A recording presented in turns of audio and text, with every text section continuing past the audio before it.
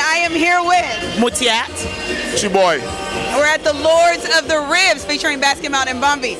Tell me, what are you expecting tonight? I expect to be rolling on the floor laughing.